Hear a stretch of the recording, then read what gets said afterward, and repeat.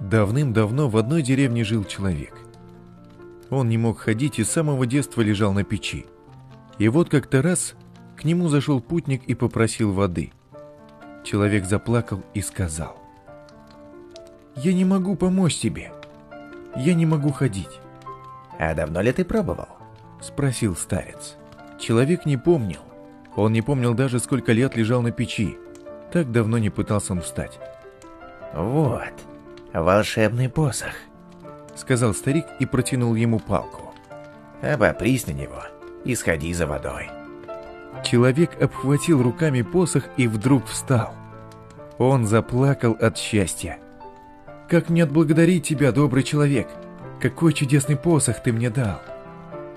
«Это обыкновенная палка. Я подобрал ее у тебя во дворе. Так ты сходишь за водой?»